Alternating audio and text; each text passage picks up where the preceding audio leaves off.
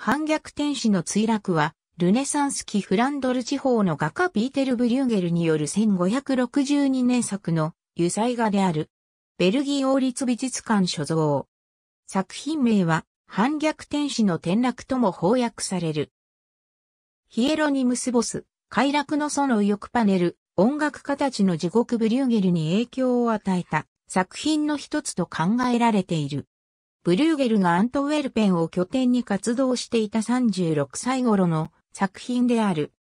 本作はキリスト教の世界観に基づく宗教画であり、高慢や嫉妬のために神に逆らい、展開を追放された反逆天使たちとそれを追い払う大天使ミカエルに率いられた天使の軍勢との戦いを描いた作品である。この主題そのものは伝統的な画題で従来は天使を強調して善の圧倒的勝利を描くものであったが、ブリューゲルの本作は混沌とした画面構成で乱戦の様相を呈し、善と悪、美徳と悪徳のせめぎ合いを描いたものとなっている。画面上部中央に円形の思考点が描かれ、そこからもつれ合い墜落するにつれて悪魔と化していく。打天使たちは人間、獣、爬虫類、魚、貝、昆虫、植物、楽器など無数の生物、無生物を構成した怪物として描かれている。その衣装の中には、制作当時新大陸から紹介されたばかりのアルマジロの姿が取り込まれているなど、ブリューゲルの博物学的関心が活かされている。これに対するミカエルたち天使は長剣を振るって戦っており、剣の聖地の描写から、絵の注文主は、刀剣ギルドではないかとする説もある。多くの小さな人物の間に中心となる人物を配する構図は同時期のブリューゲルが好んで用いたものである。本作における奇妙な怪物たちの描写は、ブリューゲルの作品の中でも、初期フランドル派の先人ヒエロニムスボスの作品から強い着想を得たものとされる。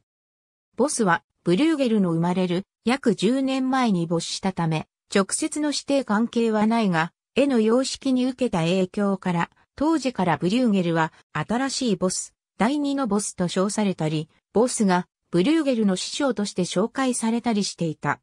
同時期のブリューゲルの作品で、他にボスの影響が指摘されるものに、悪女、フリートと死の勝利が挙げられる。本作が現在の所蔵館であるブリュッセルの王立美術館に持ち込まれたのは1846年のことで、当初は地獄のブリューゲルの二つ名で知られた同名の長男章、ピーテルの作品と考えられ、500フランで購入された。